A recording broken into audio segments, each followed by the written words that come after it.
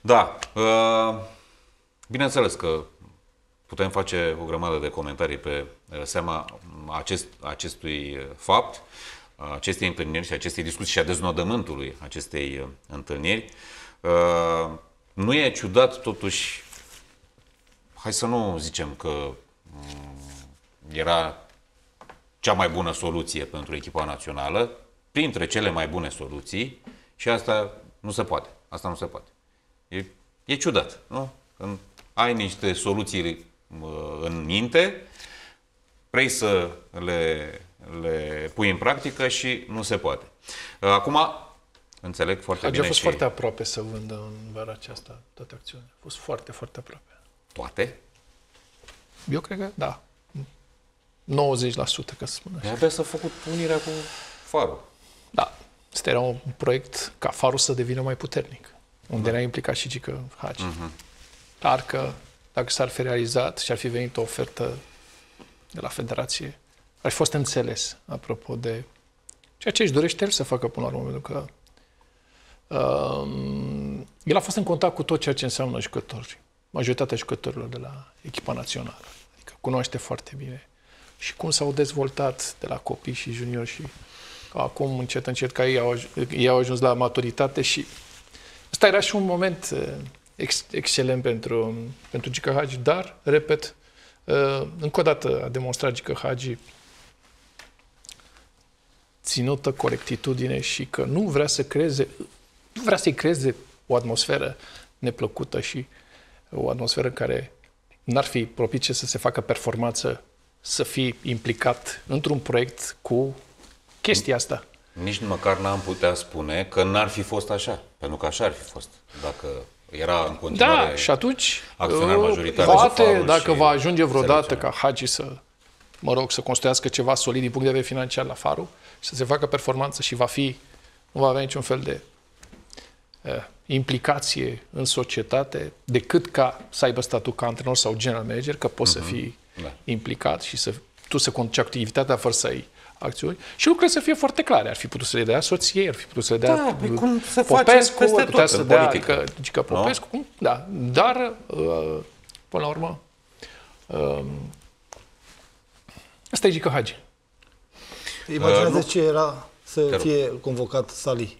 Poftim? Ce era să fie convocat Sali. Uh, și asta, da. Sau să preia banderola Ianis, sau Da. care până la Da. urmă sunt uh, Da. Poate normale. De altfel, Lucruri normal ca să, Da, ca se Hagi pot să, întâmpla. să devină capitan echipei. uh, nici ceea ce spuneai tu, iarăși, nu cred că stătea în picioare. Pentru că E e delicat. și cu Academia, Da. iar, ia uite cum uh, Dar s-a făcut face un pas. selecția. Totuși e un pas Da. înainte, nu? Și eu apreciez nu mai, foarte, uh, eu apreciez foarte mult și chiar am Poate fost... nu mai e o societate închisă, să zicem, federația, e dispusă acum să acceseze toți oamenii care pot ajuta fotbalul, nu? din fotbalul nostru, fără prejudecăți și uh, resentimente. Asta e un lucru Măi, înainte. lucru senzațional din punctul meu de Poate urmează și altele, nu? Da. Uh, nu vă supărați pe mine dacă mai am niște rezerve la chestiunea asta. Adică, Da, nu, nu, dar... fapt, din, din toată nu spun, afacerea ideea asta, este că Răzvan Buleanu a ieșit cel mai bine. um, ieșea cel mai bine dacă Uh, ieșeam cu toții cel mai bine cel dacă... mai bine dacă era uh, implicat Da. în proiectul ăsta Gică Hagi, care, Da. punctul meu de vedere. Da, cred că și Răzvan A fost Buleanu, pentru dar prima și dată restul... de când sunt eu în presă 12-13 ani, când m- m-am pronunțat apropo de selecționer, de un nume, să propun un selecționer. Ai propus două. Uh, da, Da. da. Adică în speța asta uh, Gică Hagi și Dan Petrescu. A fost pentru prima dată de când sunt eu în... Pentru că în contextul actual, după ratări, după renunțarea lui Mirel Rădoi până la urmă, sau mă rog, încheierea contractului și anunțul că nu va mai continua, astea erau niște cele mai firești lucruri, nu? Da. De asta am eu niște rezerve. Domnule, era un lucru foarte firesc să vii să, să-l chem pe Gică Hagi să stai de vorbă cu el. Firesc era să-l pună pe mutul direct sau să propună continuarea lui Mirel, că și ei sunt, au fost jucători reprezentativi, au muncit, au demonstrat. Eh, Aici, eu cred că ăsta a fost un moment extrem de, de important m, și pentru opinia publică și pasul ăsta făcut de Răzvan Burleanu, apropo de avea inițiativa Da. și ce, știi cum e că, dom'le, n-a sunat eh, directorul tehnic al federației, nu? Șeful Era- Comisiei Tehnice. Era firesc și era normal să sune președintele Federației. Uh, Oricum, uh, din câte știu, Adică în momentul cu când, directorul uh, tehnic l-a al sunat Federației direct- au mai avut uh, discuții Da, da, da, gică.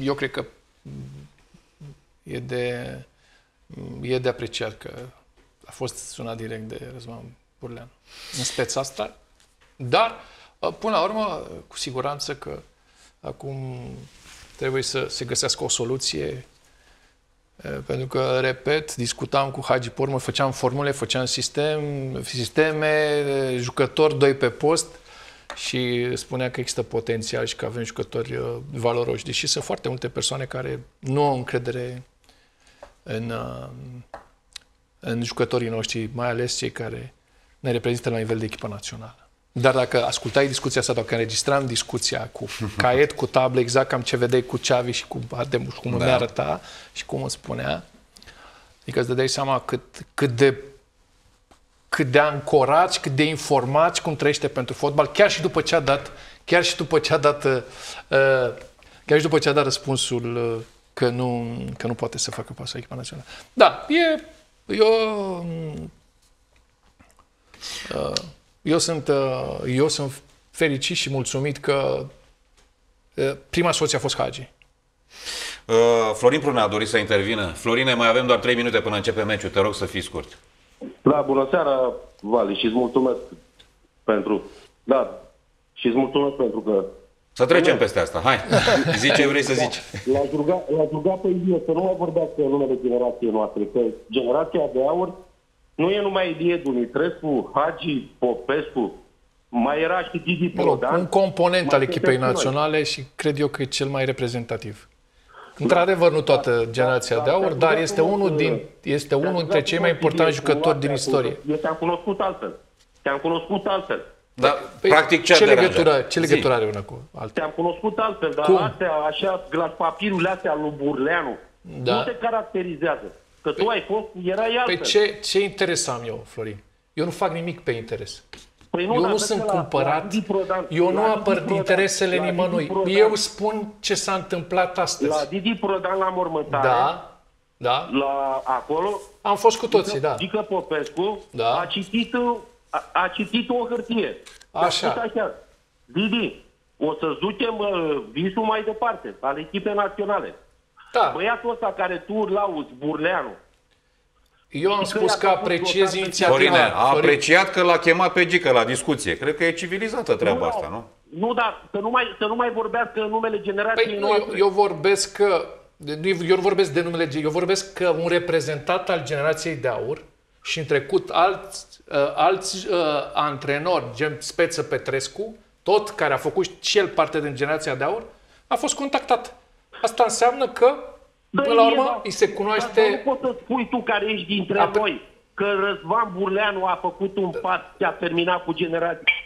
Pentru Că, nu o că, să termine niciodată. pentru că Pentru eu că nu unul am din niciun colegii interes tăi- ascuns, Unul Florin. din colegii tăi Eu nu am este în niciun pământ, interes ascuns. Da? Este și din cauza lor. Păi, Eu nu, eu nu știu ce interese ai, că nu Păi eu spun că n-am ai niciun interese. interes, de Dar asta lasă-mă spun. să vorbesc Iar eu dacă- când văd dacă- că cineva dacă- s-a gândit... Lasă-mă dacă pot să La, vorbesc da, eu. cu drag, la o Pot să persoană, și cu asta vorbesc eu? termin, la o persoană ca Gică Hagi și Să apreciază vorbesc eu? Pot să vorbesc munca de antrenor, Dar pot să vorbesc eu? te rog, te un rog, Florin, minut te rog. jumate mai avem, Te rog. Florin, te rog. Ilie, tu ce ai făcut în seara asta? Da. Tu ce ai făcut în seara asta? Nu se face și nu face nimeni ce faci tu. Ce am Da? făcut? Un Ce am făcut Florin în seara reprezentant asta? Al generației de aur, Da? nimeni n-a făcut. Să-i dai așa niște glas papirul lui Burleanu. Păi, Florine, Dar nu tu puteai să peste te 3 abții. ani, peste 5 ani, tot aici o să mă vezi pe mine. Aici, în studio. Foarte bine să vorbești, dar nu mai vorbi numele Dar, generației de dar, aur. dar eu n-am vorbit de generația de aur, eu am spus că a fost contactat Ba nu, ai și am spus apreciat atâta. Ai inițiativa spus așa. ca un membru din... Răzvan Mem- stai puțin. Burleanu, Răzvan Burleanu Da. a, a, a rezolvat problema cu generația de aur. Vorbește în numele tău, Ilie. Nu vorbi și în numele nostru. Ok, unul cumva Că nu a, a, sunteți a numai voi. contactat și am apreciat Nu inițiativa. sunteți numai voi. Dumitrescu, Hagi, Popescu, mai suntem și noi. Încă da, vreo Florin, 200 de da, fotbaliști. da. Nu mai vorbi. Eu te Nu mai înțeleg vorbi pe tu tine când că ai ești- interes. Da? Și cum ai interesul tău. Dar eu n-am interes, Florine. Ba nu, ești... Eu dacă- deci spun Florine, ceva. Eu Ce ai dacă făcut aveam în seara interes, asta, eu ce ai spun, făcut în eu hai să seara spun asta, ție ceva în să direct. fie rușine. Florine, Și ți-o îți spune, spun, îți spun ți-o eu ție spune- ceva în direct, ți-o ca să spune înțelegi. fratele tău. Eu Ce după ai ce am, făcut în eu seara după asta, ce am să-ți fie pierdut, rușine. eu după ce Da? am pierdut, Să-ți fie rușine. eu după ce am... Hai, Florine, că exagerăm. Eu, eu sigur. nu intru în dialog de ăsta cu tine, că e de la ieftin. Hai să spun ceva. Eu după ce Trebuie- am, trebuie să ieșim. după ce am ieșit, când, am, când noi n-am câștigat președinția Federației, eu am, of, am avut o ofertă să-mi aleg orice funcție vreau eu la Răzvan Burleanu și vă poate confirma și el și Vochin și am refuzat, am spus că sunt cu, din altă echipă. Că am Trebuie făcut să parte din altă ieșim, echipă. uh, Florine, deci eu nu am mulțumesc. niciun interes. uh, Mulțumesc, Florine, Florin. trebuie să ieșim. Uh, mulțumesc și Bine, Ilie. numai bine. Începe meciul. Seară bună. Uh,